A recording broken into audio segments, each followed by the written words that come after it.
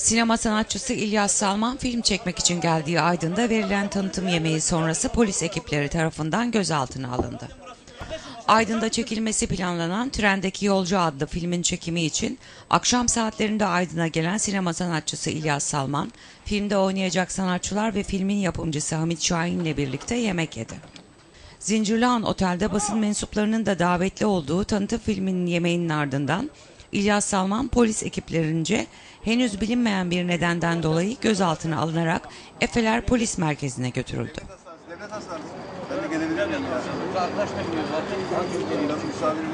Kim var yanında?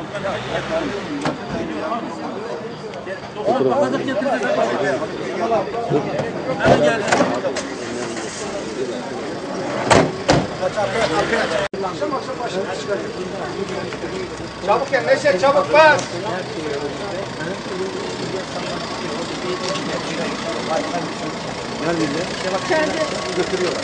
Herhalde hastaneye götürüyorlar şeyi. Orada bira içti.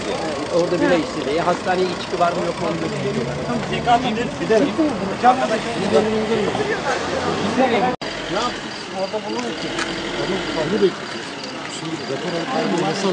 Yok yok bekliyor. O da rapor alıyor. Ne oldu? Neden alındı? Bir şey söyleyeyim. Daha sonra basın açıklaması yapacağız. Şimdi yazılı basın açıklaması yapacağız. İyi başka Parti hemen ara. Ben telefonsuzdan arayamıyorum. Benim telefonum verseniz. Bir süre burada kalan Salman daha sonra ekip otosuyla sağlık raporu için Aydın Devlet Hastanesi'ne götürülürken filmin yönetmeni Hamit Şahin sanatla anılması gereken Aydın'ın bu tür olaylarla anılmasının Aydın'a zarar vereceğini söyleyerek konuyla ilgili bir süre sonra yazılı basın açıklaması yapılacağını söyledi. Cemal abi neden alındı? Neden gözaltına? Olayı biz de çözemedik. İçeride içki içildiğini ve Özlem Çerçioğlu'na hakaretten bahsediliyor. Özlem adamın öğüsü dahi geçmedi. Kesinlikle geçmedi. Büyükşehir Belediyesi ile ilgili herhangi bir sözde geçmedi. Neden olduğunu biz de bilmiyoruz. İçeride olaylar çıkartmışız. İçeride Özlem Hanım'a hakaret edici muayyette sözler olmuş. Kesinlikle böyle bir şey yoktur.